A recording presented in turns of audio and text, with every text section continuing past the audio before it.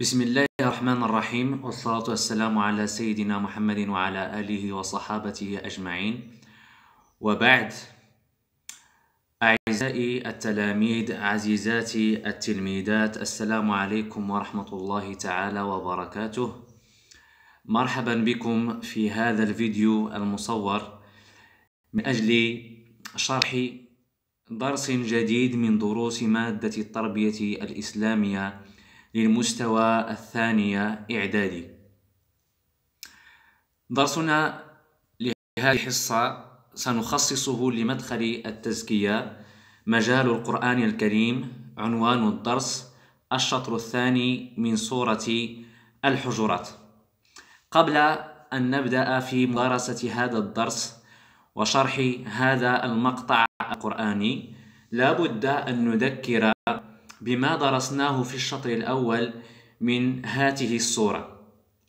فقد تعرفنا في ذاك الشطر على آداب التعامل مع الرسول صلى الله عليه وسلم ثم تعرفنا فيه كذلك على الكيفية التي يجب على الشخص أن يتعامل بها مع الأخبار في نقلها وفي نشرها.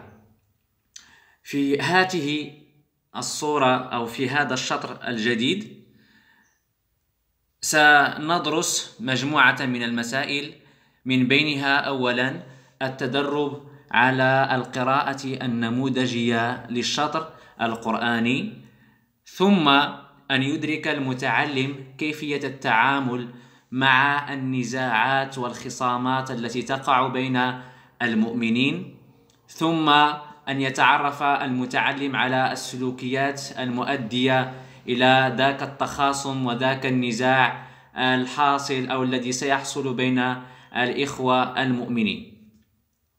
أول شيء نبدأ به هو قراءة الشطر الثاني من سورة الحجرات حتى نتدرب على قراءته ونتدرب على تلك القواعد التجويدية التي درسناها سابقا آه، قاعدة المد الطبيعي ثم قاعدة المد المتصل.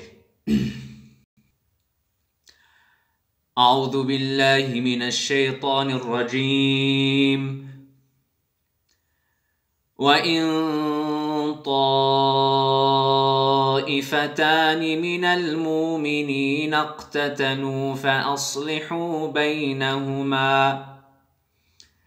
فإن بغت إحداهما على الأخرى فقاتلوا التي تبغي حتى تفيء إلى أمر الله. فإن فاءت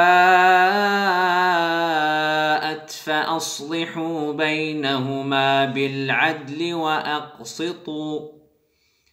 إن الله يحب المقسطين. إنما المؤمنون إخوة فأصلحوا بين أخويكم واتقوا الله لعلكم ترحمون. يا أيها الذين آمنوا لا يسخر قوم من قوم عسى أن يكونوا خيرا منهم ولا نساء من نساء عسى أن يكن خيرا منهن ولا تلمزوا أنفسكم ولا تنابزوا بالألقاب. بيس الاسم الفسوق بعد الإيمان. ومن لم يتب فأولئك هم الظالمون. صدق الله العظيم. بعد قراءتنا لهذا الشطر القرآني أرجو أن توقفوا هذا الفيديو ثم تحاولون أن تتدربوا على القراءة النموذجية هذا المقطع القرآني. ننتقل الآن إلى شرح بعض المفردات والعبارات التي تحتاج إلى شرح. أول كلمة نشرحها وهي كلمة وإن طائفتان والمقصود بالطائفة بمعنى الجماعة بمعنى وإن جماعتين سواء قل أفرادهما أو أو كثر. نقصد بالطائفة هو عدد كثير من الناس. مثلا آه، ثلاثة أشخاص فما فوق.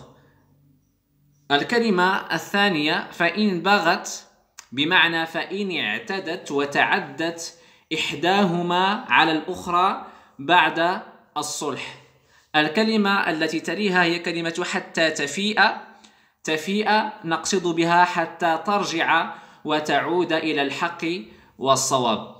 الكلمة الأخرى التي تحتاج إلى شرح في هذا المقطع هي قوله تعالى وأقسطوا ومعنى هذه الكلمة العدل بين الناس. وأقسطوا بمعنى واعدلوا بينهما بمعنى بين الطائفتين أو الجماعتين المقتتلتين. الكلمة الأخرى كلمة لا يسخر وهي كلمة معروفة تعني الاستهزاء والاحتقار وكلمة ولا تلمزوا واللمز المقصود به هو العيب بمعنى أن يعيب الشخص شخصا آخر. ويتحدث عنه بأمور تعيبه إما في خلقته أو في خلقه. الكلمة الأخيرة ولا تنابزوا بالألقاب. التنابز بالألقاب هو مناداة الشخص أحدا من الناس باسم لا يحبه أو بلقب لا يحبه. مثلا شخص ينادي على فلان باسم قد لقبوه به وهذا الاسم أو هذا اللقب لا لا يحبه. ذاك اللقب نسميه التنا التنابز. ننتقل الآن إلى المعاني الجزئية للآيات. نبدأ بالآية تسعة. قال تعالى وإن طائفتان من المؤمنين اقتتلوا فأصلحوا بينهما. الله عز وجل في هذه الآية يؤكد ويدعو الناس إلى ضرورة الصلح بين الطائفتان المتقاتلتين وبين الجماعتين المتقاتلتين. فإن بغت إحداهما على الأخرى بمعنى إن اعتدت إحدى هذه الطوائف. على الأخرى بعد أن قمنا بينهما بالصلح فإننا نساعد ونتعاون مع التي تريد الصلح على التي لا تريد الصلح. لذلك الله عز وجل قال فإن بغت إحداهما فإن اعتدت إحدى هذه الطوائف على الأخرى بعد أن قمنا بالصلح بينهما فإننا نتعاون مع الأولى فنقاتل تلك الثانية التي نقضت الصلح ولا تريد الصلح. نقاتلها حتى تعود إلى الحق وإلى الصواب. لذلك قلنا في كلمة حتى تفيء إلى أمر الله بمعنى حتى ترجع وتعود تلك الطائفة التي رفضت الصلح إلى الحق والصواب. فإن عادت إلى صوابها وإلى رشدها فإننا نحكم بين هاتين الطوائف أو بين هاتين الطائفتين بالعدل وبالحق. كما قال الله عز وجل وأقسطوا إن الله يحب المقسطين إذا خلاصة آه هذه الآية يأمر الله تعالى عباده المؤمنين بالإصلاح بين المتخاصمين أو متخاصمين من المؤمنين بالعدل والمساواة ومقاتلة الفئة التي ترفض الصلح حتى تعود وترجع إلى الحق والصواب. ننتقل الآن إلى الآية العاشرة. قال تعالى إنما المؤمنون إخوة فأصلحوا بين أخويكم واتقوا الله لعلكم ترحمون. إذا لاحظتم هذه الآية قد درسناها في درس حق الغير الأخوة الإيمانية. إنما المؤمنون إخوة إقرار من الله تعالى بأن الشيء الذي يربط بين المؤمنين هو وحدة الإيمان ووحدة الدين والمحبة في الله تعالى. فلما جمعنا الإيمان وجمعنا الإسلام فإن الله تعالى جعل بيننا رابطة الأخو الأخوة. وبالتالي إذا كان المؤمن أخا للمؤمن والمسلم أخا للمسلم يتوجب علينا ماذا؟ أن نصلح بين الأخوين. أن نسعى إلى الإصلاح بين المتخاصمين والمتنازعين من المؤمنين. لأن هذا يؤدي إلى ماذا؟ إلى التراحم وإلى التعاون وإلى حصول التقوى. فمن الشخص الذي يتحلى بالتقوى هو الذي يسعى إلى إصلاح ذات البين بين المؤمنين المتقاتلين. خلاصة لهذا هذه الآية.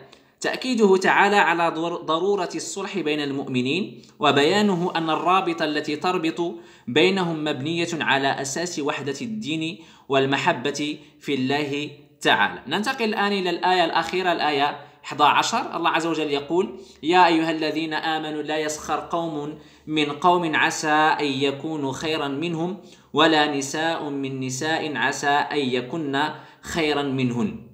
هنا الله عز وجل لما علمنا الكيفية التي يجب أن يتعامل بها الشخص مع الطوائف المؤمنة التي تتقاتل فيما بينها انتقل الله عز وجل إلى بيان الأشياء التي تؤدي إلى النزاع وتؤدي إلى الخصام وهي تلك السلوكيات القبيحة التي يكتسبها الناس فيتعاملوا بها مع بعضهم البعض.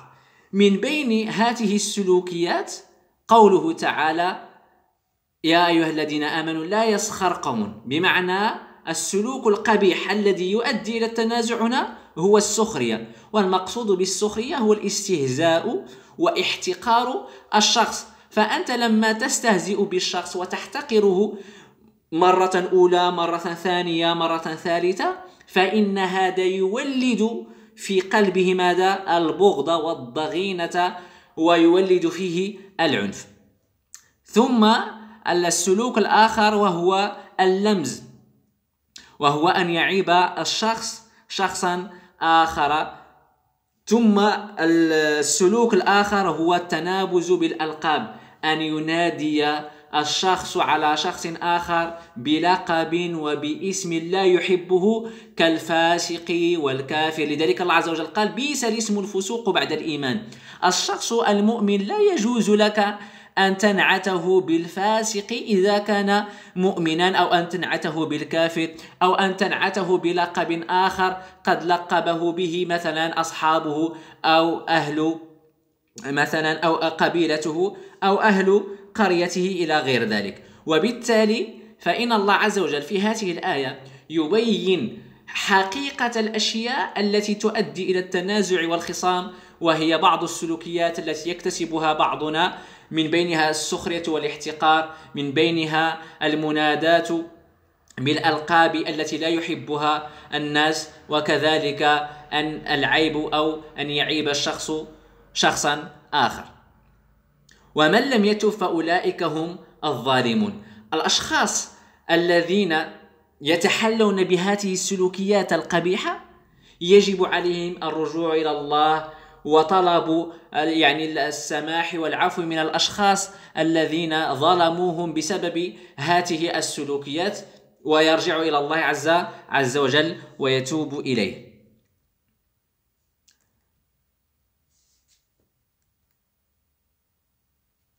خلاصة هذه الآية ينهى الله عز وجل المؤمنين عن السلوكيات التي تؤدي إلى التنازع والتخاصم فيما بينهم كالسخرية والاحتقار ونعت الناس بأقبح الأسماء والألقاب كالفاسق والكافر. بعد أن تعرفنا على المعاني الجزئية للآيات. ننتقل إلى الدروس والعبر المستفادة من هذا الشطر. أول آه، درس وعبرة ضرورة التعاون على تأديب الفئة المعتدية والرافضة للصلح. علينا جميعا أن نتعاون من أجل أن نعيد تلك الطائفة إلى رشدها وإلى الحق وإلى الصواب. ثم تحريم السخرية واللمز والتنابز بين المسلمين. الله عز وجل لما نهانا عن هذه السلوكيات فإنه قد حرم هذه الأشياء فلا يجب على المسلم أن يقتربها وأن يقترفها. آخر درس وعبرة وجوب المبادرة إلى الإصلاح بين المؤمنين كلما حصل بينهم نزاع وخصام. قلنا الشخص المتقي لله عز وجل يجب عليه أن يسعى بالصلح بين الناس. فإن رأيت شخصين يقتتلان ويتخاصمان ويتنازعان فالواجب علي أن أدخل بينهما بالصلح. القيم المستفادة من هذا الشطر القيمة المستفادة من الآية تسعة هي قيمة التسامح والتعاون. ثم القيمة المستفادة من الآية عشرة قيمة المحبة. ثم القيمة المستفادة من الآية 11 قيمة الاحترام. يجب علينا أن نتحلى بالتسامح والتعاون. يجب أن نتحلى بالمحبة لأن الله عز وجل قد جعل المسلمين والمؤمنين إخوة يربطهم الدين وتربطهم المحبة في الله تعالى. ثم يجب علينا أن نحترم الآخرين فلا نستهزئ منهم ولا نحتقرهم ولا ندعوهم بأسماء وبألقاب لا يحبونها. بعد أن أنهينا الدرس ننتقل إلى آخر شيء وهو التقويم الإجمالي. سنقوم بتمرين بسيط والواجب عليكم أن تجيبوا عن هذا التمرين في دفاتر التمارين. لاحظ الصورة وأجب عما يلي. حدد نوع السلوك الموجود في الصورة ثم استدل بآية تحرم وتمنع هذا السلوك. ثم الصورة الثانية ما القيمة التي يجب أن تتحلى بها حتى تحقق السلوك الموجود في الصورة؟ شكرا على انتباهكم. لتلقي استفساراتكم المرجوة التواصل معي على صفحة الفيسبوك. شكرا. مجددا وإلى اللقاء.